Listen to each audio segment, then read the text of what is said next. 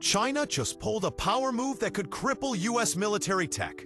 A July 2025 report reveals China owns 98% of the world's gallium supply, the secret element inside U.S. radar, stealth systems, and 11,000 other military components. But now, China's slapping tight limits on gallium exports, sending shockwaves through U.S. weapons production.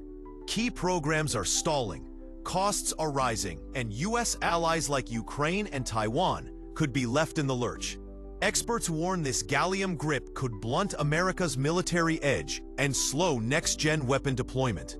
Picture a stealth jet grounded, not from combat, but because it's missing a gallium chip. Could losing access to one rare metal shift the balance of global power? Tell us what you think below.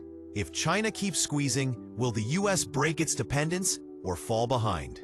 Watch this space for the next battlefield twist.